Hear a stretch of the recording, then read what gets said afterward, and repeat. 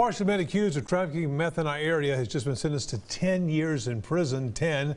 35-year-old Fernie Marino right there pleading guilty last November to possession with intent of distributing. Marino, by the way, is a member of the criminal organization responsible for selling large quantities, according to police, with meth and Marshall. He wasn't the only one. Back in uh, 2020, he was indicted with eight others who are also involved with the East Texas drug ring, with some of those still waiting to hear their fate in court.